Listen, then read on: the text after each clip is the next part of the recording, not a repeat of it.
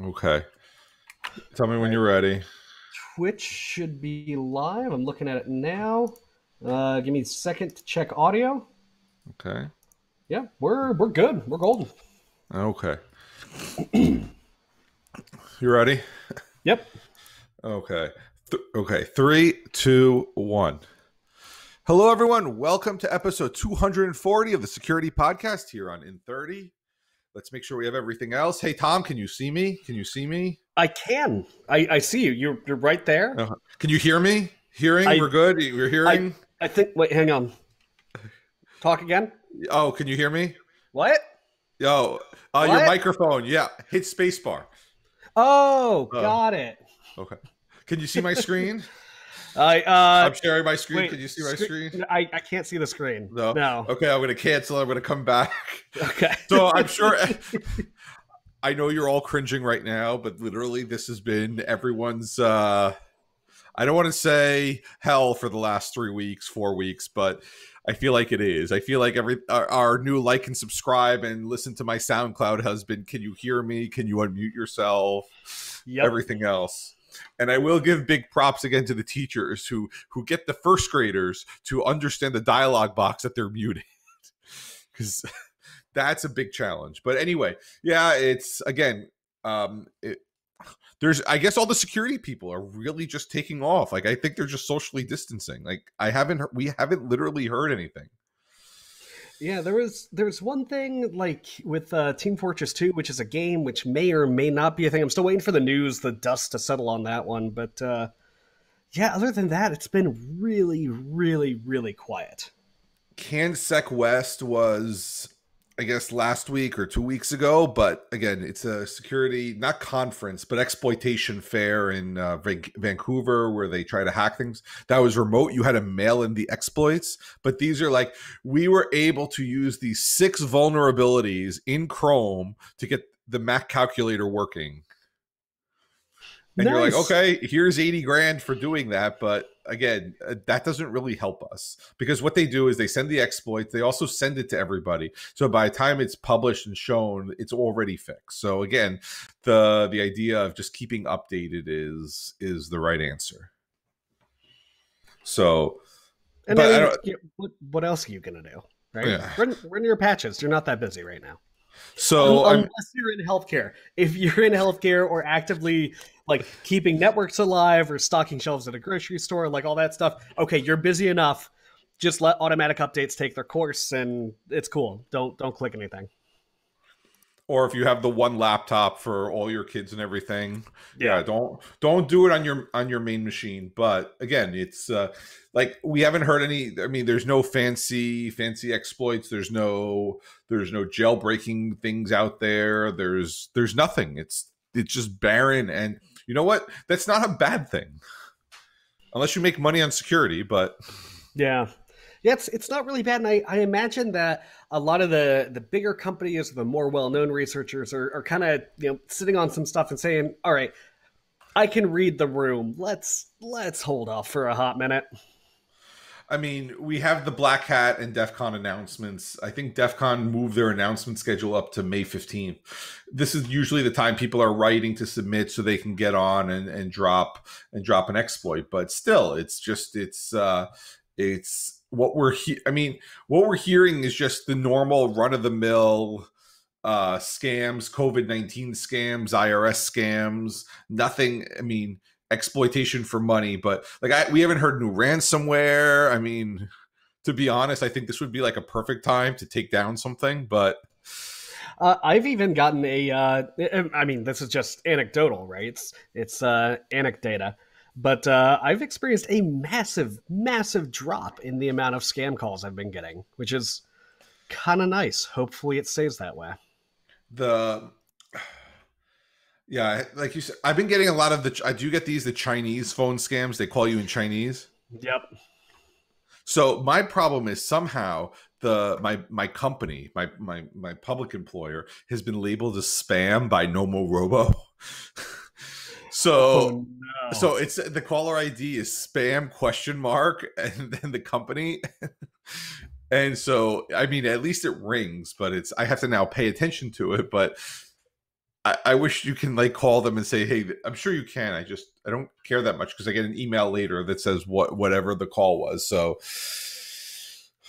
no, but I, you're right. I haven't got the good news is I haven't gotten solicitors, no solicitors, no no real like spammy phone calls. I do get Karen from uh, the warranty department of the car.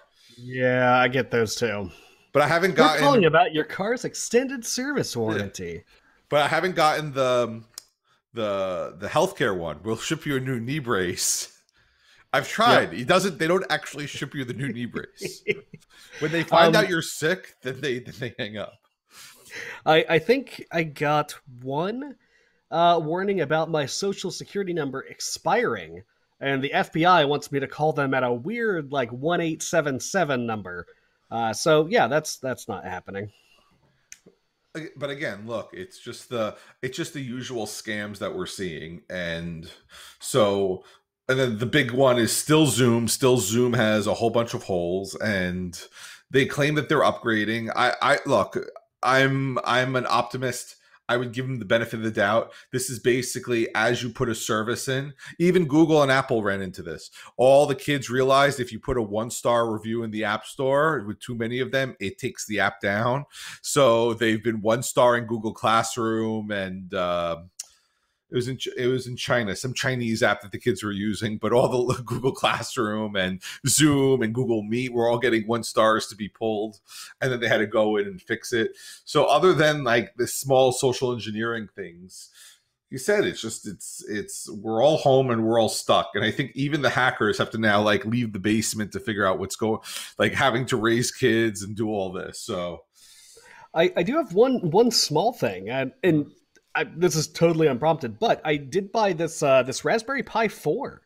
Uh, so I, I, I got this guy full little kit, uh, and it's really nice. Uh, it was cheap. I think the whole kit with everything uh, was a hundred bucks. I got the one with a bunch of RAM. Um, what's really cool though is if you're just doing like limited stuff, not like intense processing, but if you're just doing like web browsing, text processing, that sort of thing. Um, it, right right here there there are these two ports. It can run dual monitors. You can run two monitors off this little guy. It's really nice. 4k uh no no two 1080p monitors. Um uh, although the power is now usb-c so upgrades. I was going to say, uh, now all the articles are coming out. Don't buy anything that's not USB C, which I think is very good advice. Yep we're st- it's still uh, it's i mean you have to have very disciplined principles on this but but anyway okay so so other than the zoom exploits that we're hearing i mean we, we've we've we've beaten that horse. It's your company is either using Zoom or or you've moved on from it, but we can't tell you to not use it. It's like you're going to say, "Oh, these two security people on some some amateur security podcast said I'm not using Zoom." What you could try to do is say, does it comply with COPPA and HIPAA?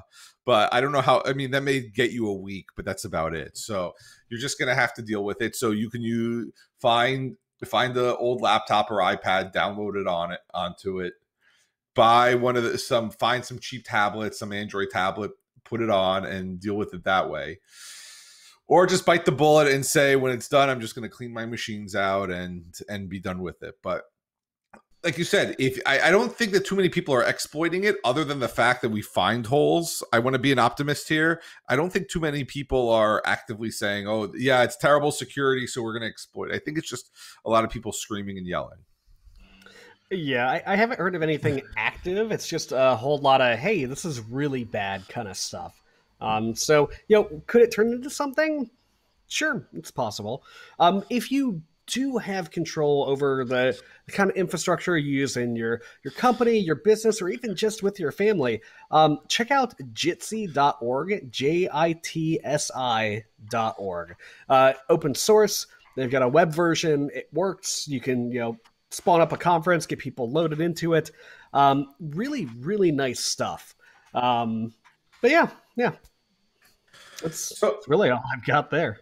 Well, so I mean, we haven't seen you for a while, but what I'm hearing, and this is really for the parents out there. Um, so five years ago, our company or my school went to Google only, and and you've heard us say, "Oh, Google, Google's awesome. The Chromebooks are excellent. We've recommended Chromebooks. This is it." And for about five or six years, it's every school district went to Google and I loved it. It was great. It was, I mean, for me in programming, it doesn't work, but for literally everything else, Google Classroom was there, which I never liked. I will always go on record that I never liked Google Classroom, but it was there. People were using it. Now we're here, and and last year our school went all Microsoft. That we got we got these Lenovo three hundred dollar flip things like Windows 10, whatever it is, for three hundred dollars. They're really nice. Um, I think ours has four gigs of RAM, some Celeron, like higher than Celeron, whatever the the step up from Celeron, but not Pentium. The, the Core Two Duo. Yeah, something like that. The kids got Celeron, but you know what? The thing just works. And I didn't. I, I. You've heard me say I'm not a touchscreen type of guy on the laptop, but with this, it bends around so you can take notes in OneNote. And to be honest with you, it's like I'm so happy that we pulled the band-aid off and said we're going back to Microsoft because they if you haven't looked at them they really upped their game. I didn't realize that they did a competitor to google docs so word excel and powerpoint is in the cloud and it is awesome. I, I mean i think we've said this before but i want to reiterate that. It works far far far better than it ever rationally should. Like it, it like everybody knows the the standard you know web app experience where it's slow and it lags a little bit and doing anything complex is kind of kind of janky. But with with word at, least because I've, I've only used word on office 365 like, like the online version. For word it almost feels native. It almost feels like it's just another like you've opened up word on your regular laptop and you're using it there. It is scary good uh, how much work they've put into this to make everything just feel cohesive and right.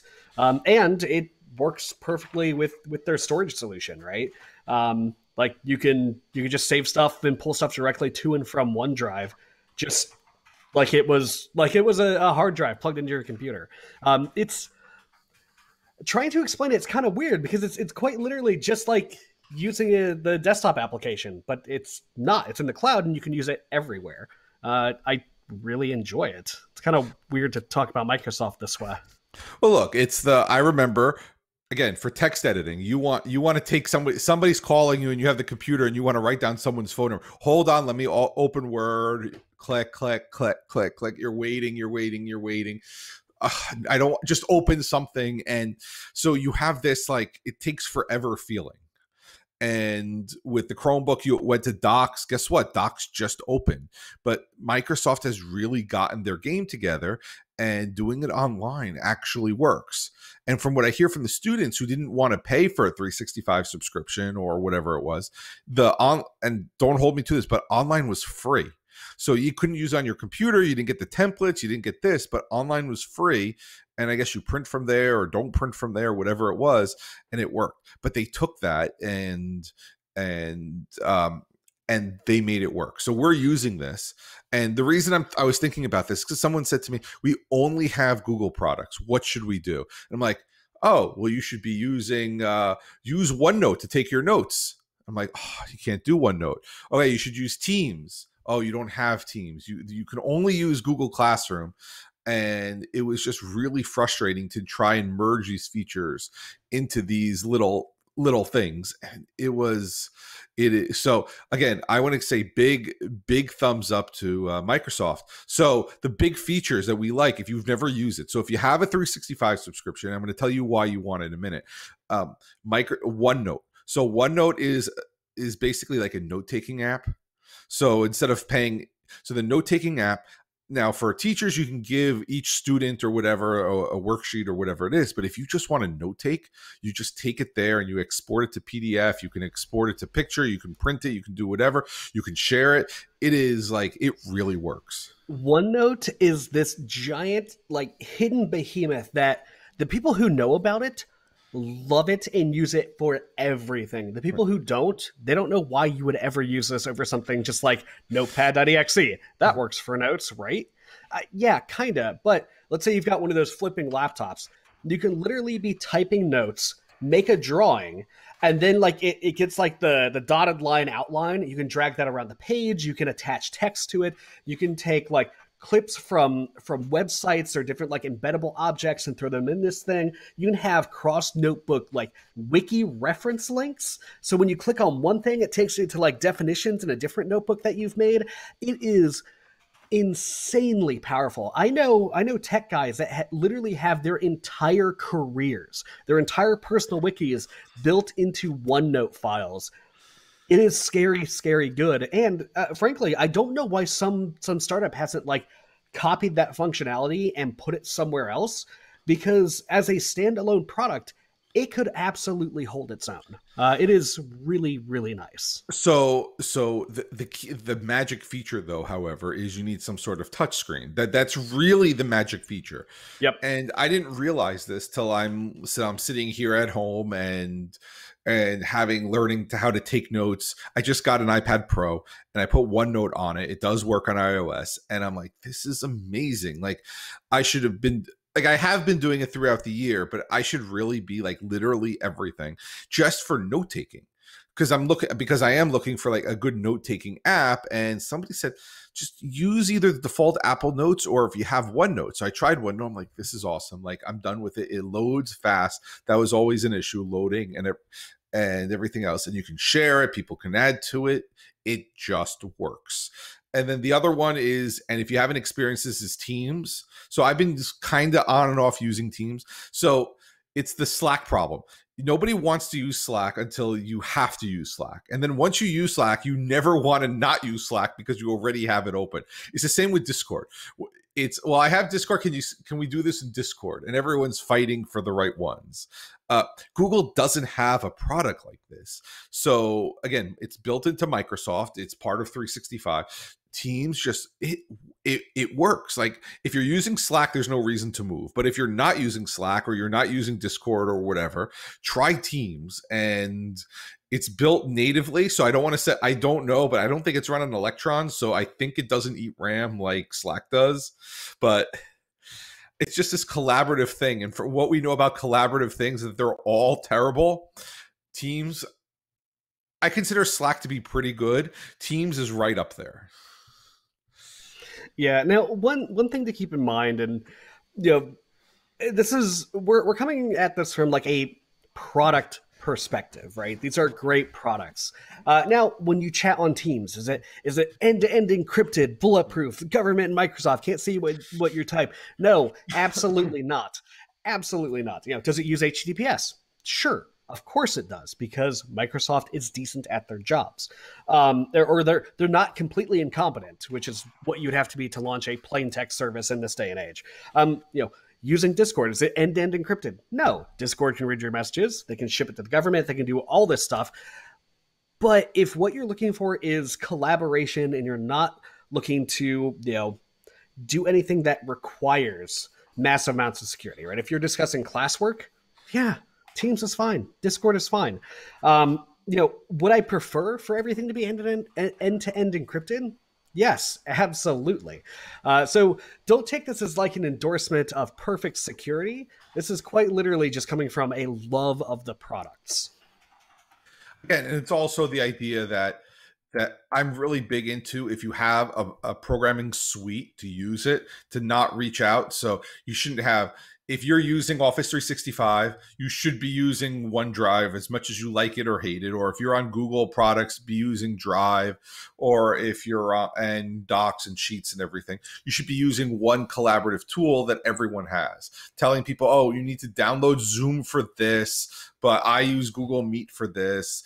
Oh, and we use Slack for this. When you have all these other programs that work, I'm a very big fan of the native app ecosystem. So if you're paying for 365, use the 365 software. If you're using the Google versions, use the Google versions. If you're using something else, use that. But try to stick to one platform. And and I just I didn't realize how much this uh, Office 365 is really saving me. And I'll give you another example. I was now that I have some time, I've been cleaning out my Google Drive folder, and I'm like, what is this G Doc? So now I have to double click and it has to open. I can't hit spacebar and the Mac brings it up. There's no quick preview. It has to go out and render it. And if you want another nail in the coffin for me, that that was it. And I remember saying this used to load fast, but now it doesn't and so now i'm really now i'm really considering what i'm doing and yes all the standards are there it does open it does render there's no problems with that but i i don't know and and now i'm trying to convince my wife to go to onedrive because like you said i think i think onedrive holds its own i don't think it's as good as dropbox but i really really yeah. think it, it holds its own and the key here is the price. The price, and this is not an ad, not an ad, is hundred dollars for six licenses. So Dropbox is one hundred and twenty dollars for uh, two terabytes. Hundred dollars on three sixty five gives you six licenses, and I think you each get a terabyte. And you shouldn't be really having more than a terabyte in the cloud, but I don't know. That's it's it's huge. Um, the the you know kind of big thing that nobody talks about, but everyone likes to act like they compete with it. There's no competition for Excel. Literally, empires, giant mega conglomerate corporations have been built on the back of Excel. Um, it is quite, I, I, I'm just going to say it Excel is possibly the most important software product ever created, bar none. Um, yes, yes, it is.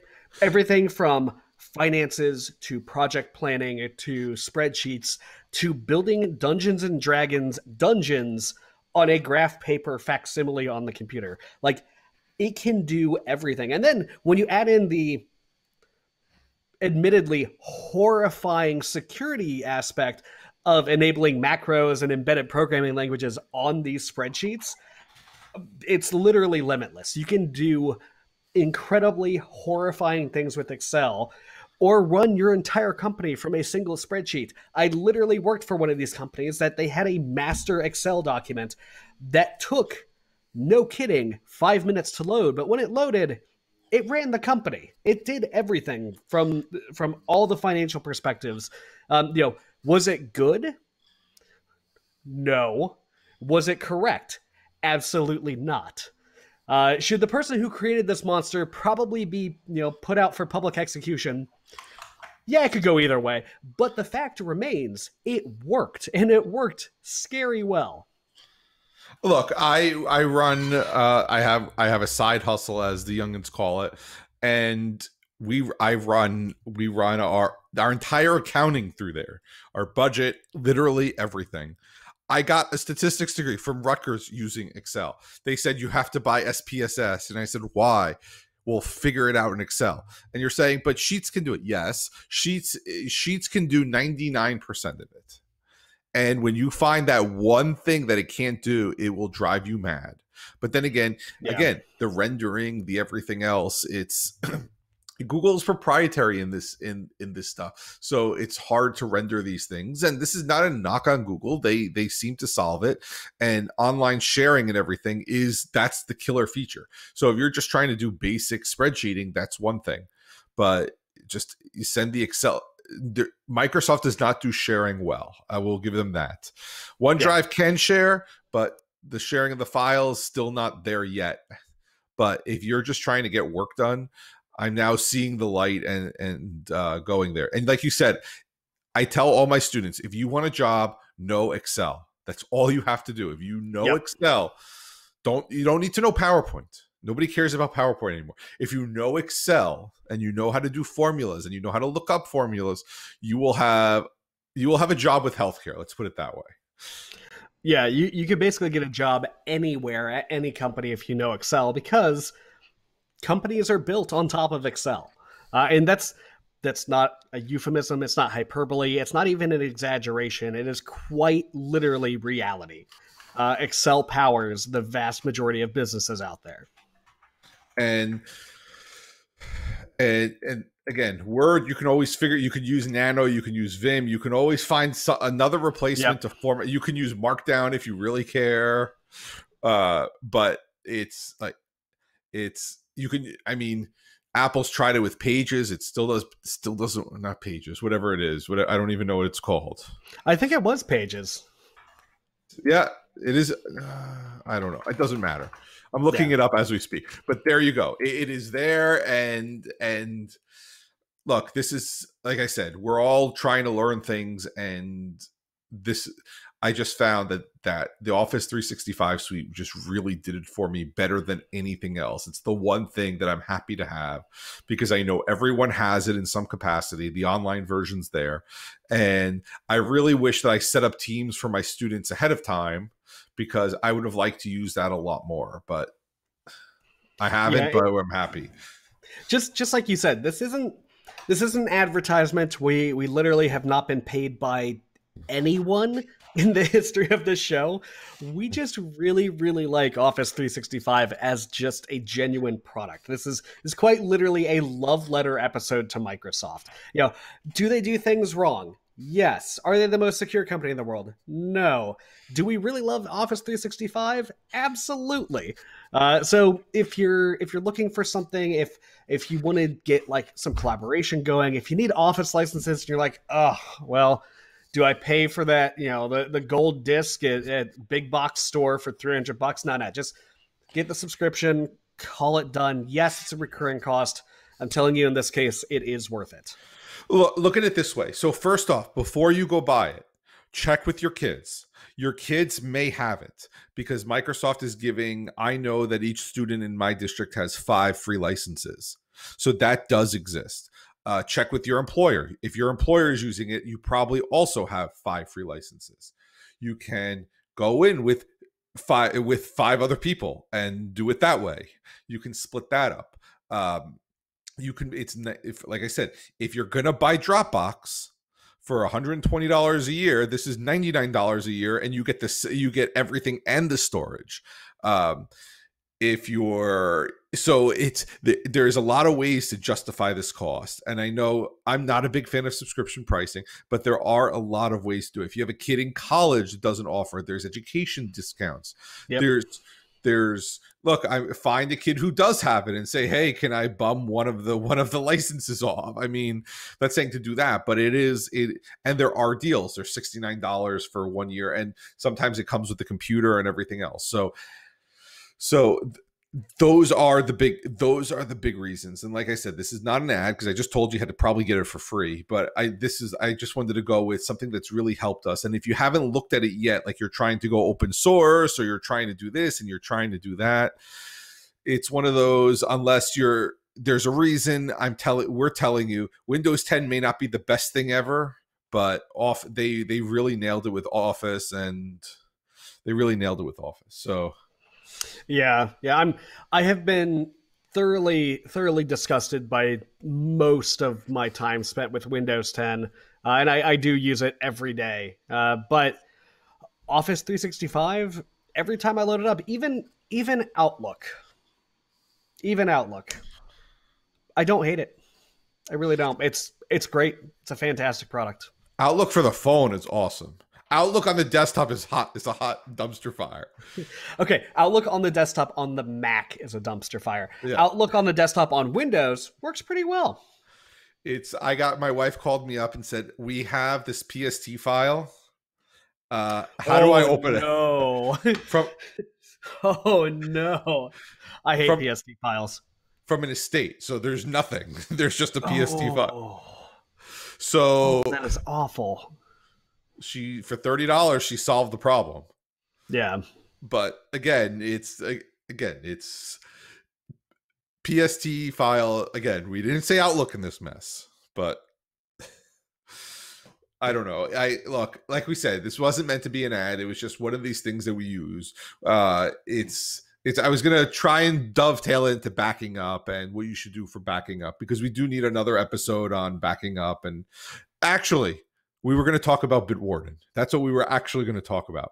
And we didn't have a real good time to dive into it. I put it on all my stuff. So Bitwarden is um, is like LastPass or 1Password, but we wanted something else because LastPass was becoming a little too corporate and they're raising their prices and everything else. So Bitwarden is free with a paid tier, but it was cheap enough. It I'm just a little nervous because the red now turned blue and it's hard for me to wrap my head around it. I've put it on. I've been using it for the last couple days. It's working. I have no problems, but it's blue and not red and that is really bothering me. So so I need another week to deal with it. So hopefully next week I can do a little more with that and we can talk about backing up and doing it. Exporting the vault from LastPass to there, there was one hiccup that we figured I figured out really fast. Like it didn't cause any real problems, but we'll try and do that for next week. So we're right now running out of time. So unless Tom has anything else, I'm, we're going to end it here. Uh, if you would like to try out Bitwarden for yourself, even on your own computer, uh, it is completely open source. You can download it, you can run the software yourself. Uh, so, yeah, uh, hopefully next week we'll have time to play with it and show you the ropes. Ropes, rather. Look, it's it's free, like LastPass was free. If you want the the like YubiKey two factor or some other sharing, that that cost money, but it was very reasonable. It was like fifteen dollars a year, which was what LastPass was back in the day. Yep. Now LastPass is like forty eight dollars for a family, and if it's like one person, you're paying forty eight dollars. So it's get it's starting to get expensive. So not that there's LastPass is still rock solid, and we still use it and we still love it. It's just it's it's it's hard to recommend to somebody that they need to pay money now for password managers. So we're just uh, we just want to try something else before we recommend it. But next week, hopefully, Bitwarden and some more backing up, and we will see everyone next week. Bye, everyone. See everyone. Okay. 31 minutes. Let me, let me turn off Twitch. Yeah.